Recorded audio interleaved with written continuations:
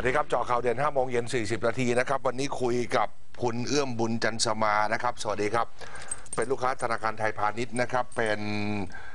บุคคลทุพพลภาพขออนุญาตนะครับ อายุ 60 ปี เป็นทายาทของอดีตนักกีฬาทีมชาติ ขี่ม้าแล้วก็ยิงปืน ทนายความ แล้วก็รวมถึงคนใกล้ชิดนะฮะ คุณเยาวลักษณ์ศรีมาลานนท์เป็นญาตินะฮะ สวัสดีครับ ทนายความวันชัยศรีสันติธรรมนะครับ สวัสดีครับ แล้วก็ผู้ช่วยผู้จัดการใหญ่สายบริหารป้องกันการทุจริตของธนาคารไทยพาณิชย์คุณพงศิษฐ์ชัยฉัดพรสุขนะฮะสวัสดีครับ สวัสดีครับ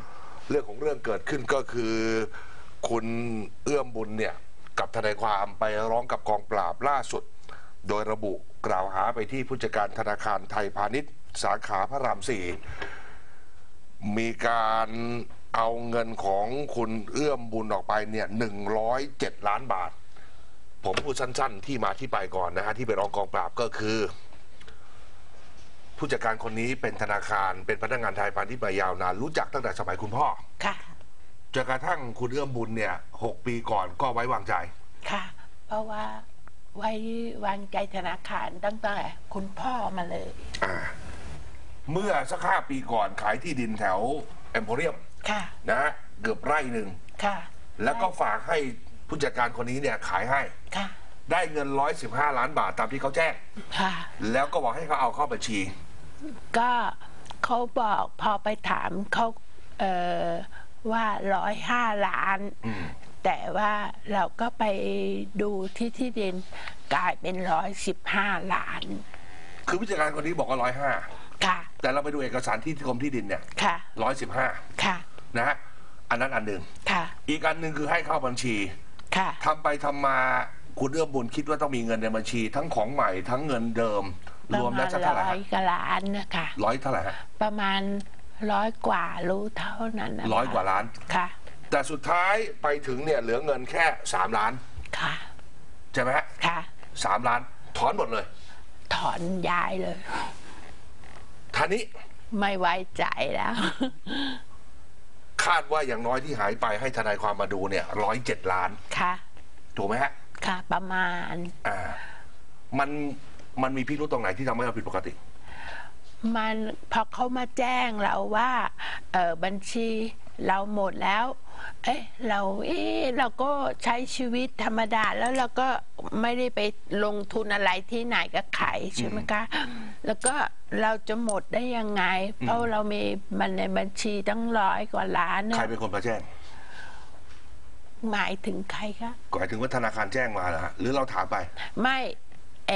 ผู้จัดการคนเนี้ยผู้จัดการคนนี้ค่ะบอกเขาว่า บอกว่าหมดแล้วนะหืมบอกหมดแล้ว เขาบอกว่าทำไมถึงหมดฮะเขาก็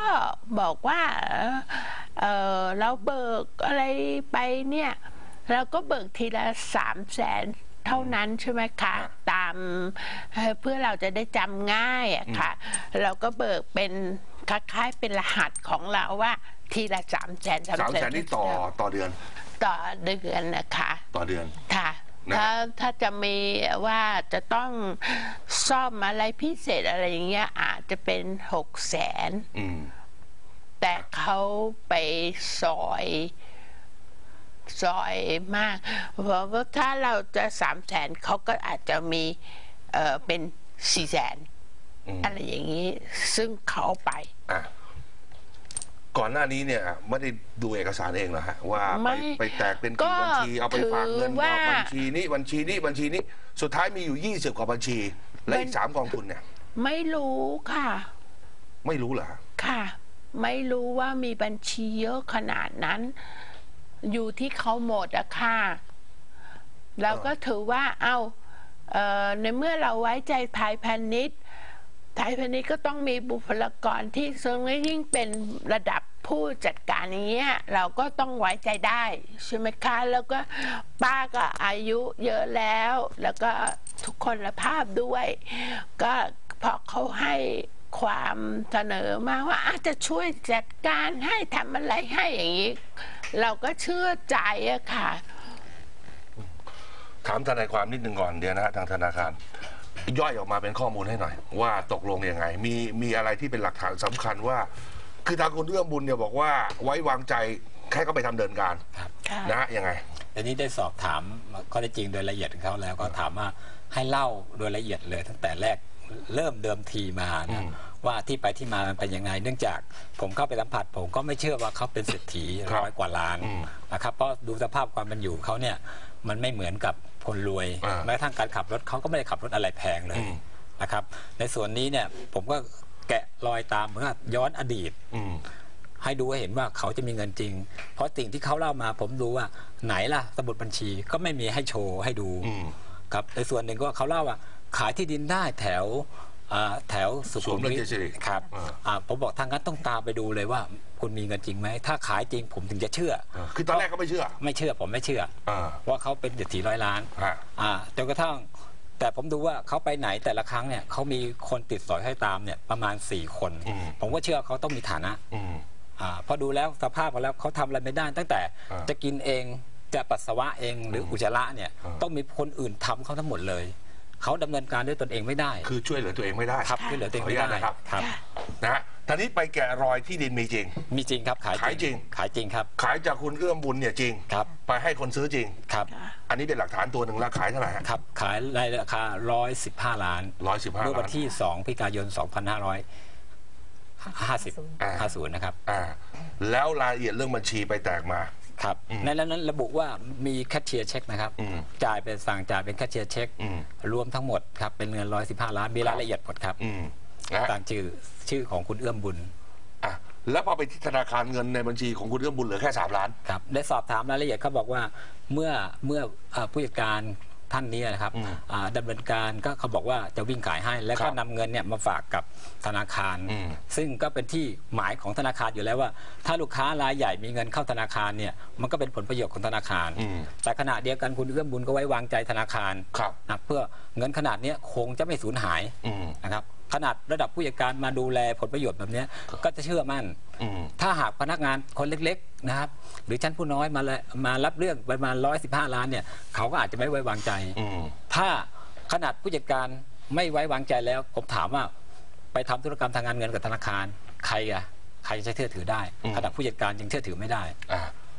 เพราะฉะนั้นเนี่ยไอ้ยี่สิบเอ็ดบัญชีเนี่ยมีการถอนออกไปอะครับมีลายลายเซ็นคุณเอื้อมบุญไหมครับ คือในในส่วนที่เราได้ย้อนกลับไปแล้ว ก็ปรากฏว่าสิ่งสำคัญที่เราจะต้องตามคือเงินเนี่ยเข้าบัญชีธนาคารหรือไม่อืมก็ไปเช็คโดยเลย